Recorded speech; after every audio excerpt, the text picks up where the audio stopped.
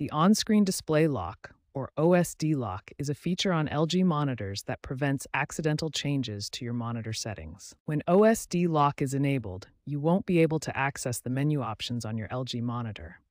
This feature is particularly useful in offices or public spaces where multiple people use the same display. Now let's look at the primary method to unlock the OSD on most LG monitors. The most common way to unlock the OSD is by pressing and holding the menu button. Here's the step-by-step process. Press and hold the menu button for anywhere from 5 to 30 seconds, depending on your monitor model.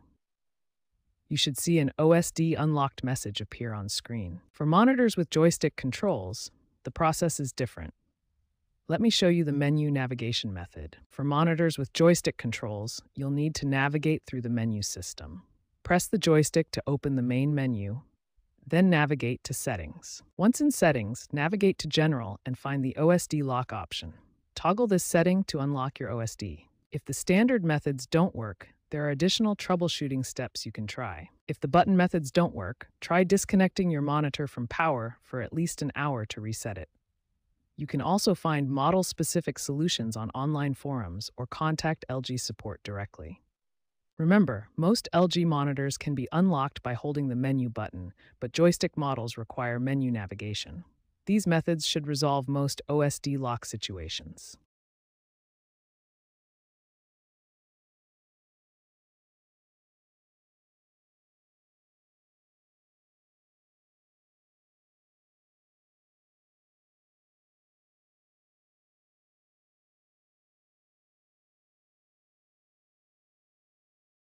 When the standard menu button method doesn't work to unlock your OSD, there are several troubleshooting steps and alternative methods you can try.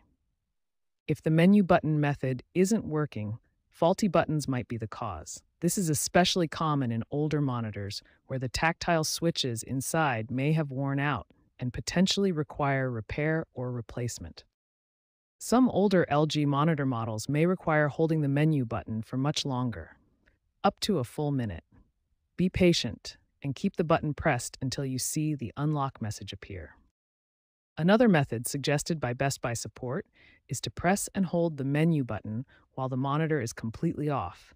Then press the power button to turn the monitor on while still holding menu.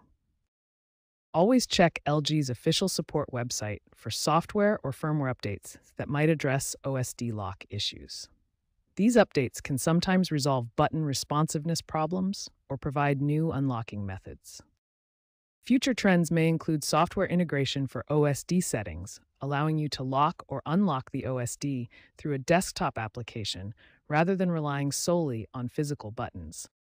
Remember, the OSD lock is designed to prevent unintentional changes to monitor settings, especially in shared environments like public displays or office workstations. Understanding this purpose helps you decide when to use the lock feature.